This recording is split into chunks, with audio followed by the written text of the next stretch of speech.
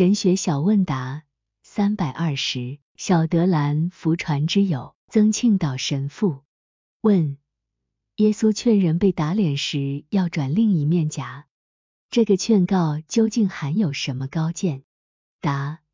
犹太人的法律并不禁止以怨报怨，以仇报仇，但是那些依据法律要求以眼还眼，以牙还牙。出古记第二十一章第二十四节是报仇为权力好事的人，其实是无法摆脱罪恶的暴政的，因为他们要用同等的打击来报复仇人的进攻，怨恨之气随时增长，愤怒与暴躁也必然火借风势，越烧越旺的，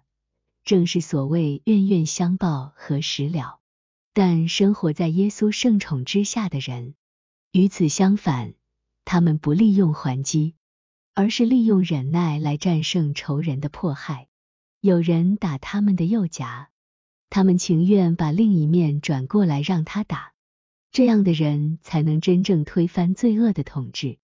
砍断罪恶的锁链。法律不能消灭罪恶的种子，但生活在圣宠里的人，不仅除去罪恶的萌芽，还深深挖掉罪恶的劣根。所以保禄说，在基督耶稣内赐予生命之神的法律圣宠，以使我获得自由，摆脱了罪恶与死亡的法律。罗马书第八章第二节，这就是耶稣的劝告的高见。